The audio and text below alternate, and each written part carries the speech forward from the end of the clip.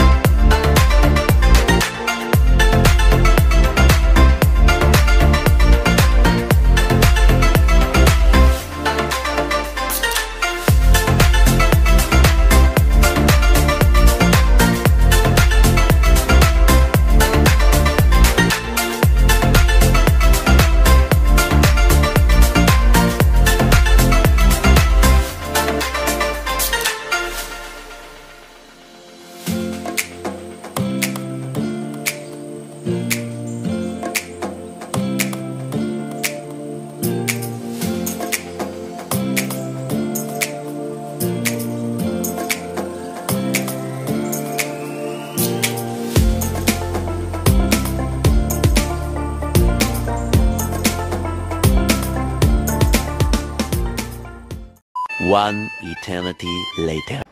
Hey guys, ayan, nandito na ako sa Cavite ulit.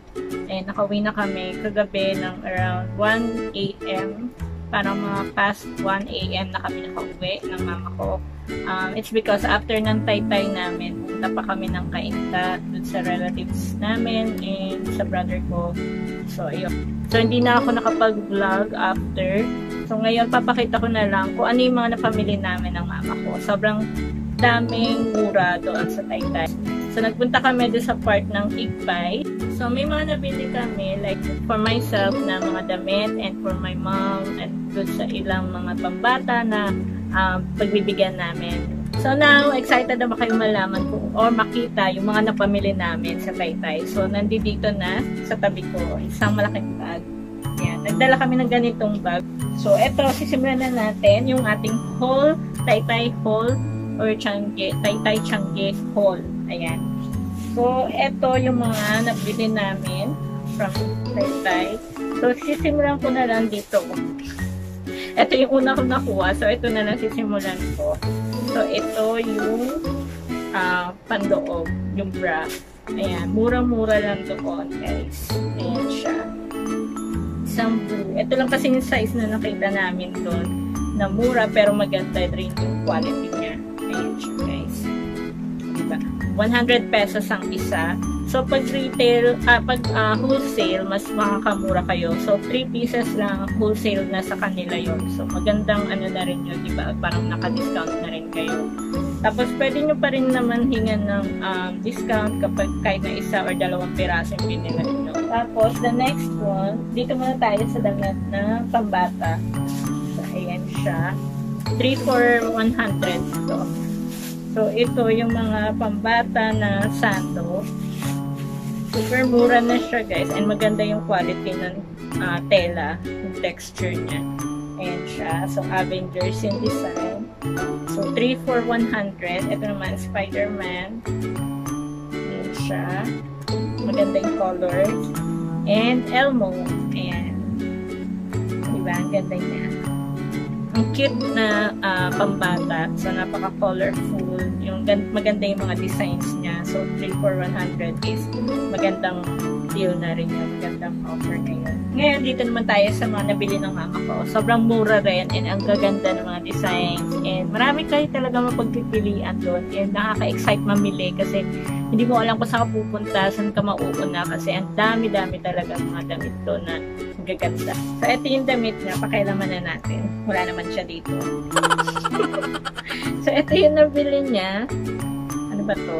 Blouse. Ito, itong tatlong piraso na to is 3,490 binigay ng, sa kanya. Pero ito kasi, yung shorts, wala siya nakitang shorts na kakasya or yung talagang naka um, size para sa kanya. So, ito, ito yung blouse lang. Para siyang uh, cotton spandex ang, ang ano niya, ang tela. So, karamihan doon, makikita nyo, mga tela na binibenta nila is cotton spandex. And maganda rin yung quality na yun, guys. Although, parang kung mainit yung panahon, tapos ginusuotin mo, medyo mainit sa katawan. Pero kung okay lang, normal weather, or malag malamig, maganda siya sa katawan. Presko siya. So, ito yung sa mother ko. Loose yung ibaba. Ayan. Tapos, meron lang siyang accent dito. Parang ito yung likod or harap. No, ito yung likod, yung may butas. Tapos, ayan siya, ganyan. Ganito siya design. Black and white yan. Para lang siyang blue. Actually. Or blue. Parang blue. Blue and white pala. Hindi siya black. Color blind. Tapos, ito yung pair. Ayan, sa mama ko kanya pa rin to. So, ito yung blouse. Floral naman yung design. And ang ganda ng color combination niya, di ba? Parang purple, red, and green black. Tapos, may turn niya siyang shorts. Ayan. Ito yung mga nausong shorts. Yung parang may mga ganyan na parang uh, sa tablecloth. tablecloth ba yun? Or yung parang sa mga lampshade noon. Ganyan. Ayan yung natapos noon, di ba? So, ayan, sa kanya naman to. So, okay lang. so, meron siyang shorts and ito. So, 3,490 nakuha namin doon sa Presto doon. Ito yung mga nabili natin sa may uh, Igpay. Ayan. Ang daming mura talaga, guys. Tapos, ito pa, sa mama ko rin doon ito. Ito maganda tong blouse na to sa color black, uh, sleeveless, parang mo spaghetti strap ang tawag yata dito. I don't know how they call it. Uh, masyadong ano, pagdating sa fashion, mga tawag sa mga design na yan. So, bagsak yung tela. Ayan siya. Hindi ko alam kung anong klaseng tela to, pero malambot and hindi siya makapal na sobrang init. Ito, presko lang yung ano niya. Tapos, para siyang may doble. Ito, uh, parang cotton spandex din siya. Tapos, ito yung design, yung accent niya dyan. So, pag sinuot mo yung blouse, ayan siya. Maganda, diba? Bagsak. Ayan.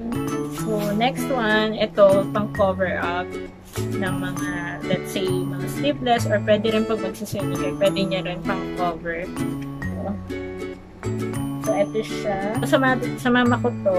So, try natin. Wala naman siya dito. So, i-try natin. Ayan. Ang ganda yung color niya, o diba? So, mura lang din. Yung kanina, yung blouse nga pala na black. Sorry, nakalimutan ko yung price sabihin. Price nito is 50 pesos. So, sobrang mura. Ang, ang ganda ng tela. For 50 pesos, sulit na yun. Maganda siya. Ito yung blouse.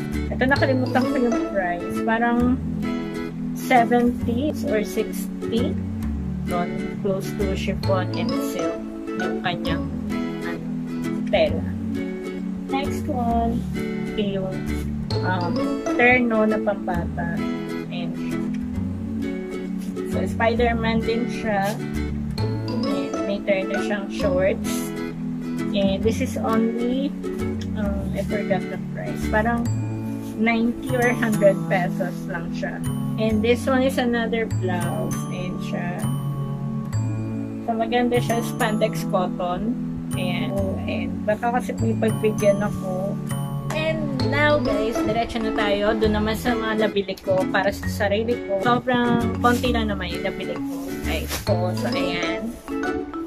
So, ito isang blouse na worth 40 pesos. Kasi isa lang yung binili ko doon sa store niya yon. Pero kung wholesale, uh, binibigay nila ng 35. So, ito, ang color naman niya is parang white, light brown, and dark blue na stripes. Ayan siya. Tapos, ma manipis lang. Cotton yung tela niya. Ito, yung gusto ko dito, itong robe. Itong robe na to, color blue, royal blue, ayan siya. And yung cloth niya is satin silk. Ba dyan? Parang ganun. Tapos, nakatahi na yung, ang maganda lang dito, nakatahi na yung tali niya. Ayan. So, hindi na siya abala pa na natatanggal-tanggal. So, ito, nakadikit na siya mismo dito sa rope. And sobrang ganda rin. This is only for 170 pesos. Ayan. So, ang original price is 180. Binigay sa amin ng 170. So, naka-discount kami ng 10 pesos. Not bad na rin. So, ito yung uso yata ngayon doon. Kasi halos karamihan ng mga stores doon, pare-pareho, may ganito silang tinda. Ito yung malipis na manipis na strap. Ayan siya, guys.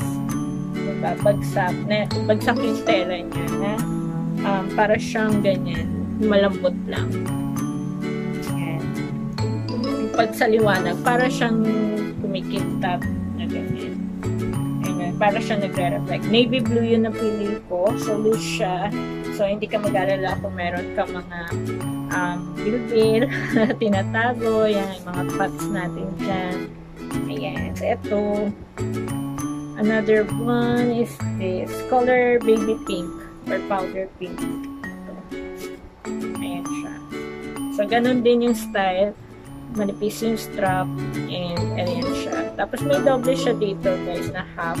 So, hindi ka mag-worry pagka suot mo siya ganyan. So, hindi siya super nipis. So, that's it. Ang ating tie-tie haul. Natapos din natin. Yun lang yung mga nabili namin. The rest, kasi napagod na rin kami sa haba ng biniyahe namin. And sobrang init pa kasi parang uulan. Parang nagpunta kami doon mga 1 o'clock. And then, um, umalis kami doon mga 5 o'clock. So, parang 4 hours din kami nag-iikot doon. So, nakakapagod. Pero, okay lang. Sulit naman dahil um, yung nabili namin is talagang nagustuhan namin. Tapos, mura pa siya. Plus, naka-discount pa kami.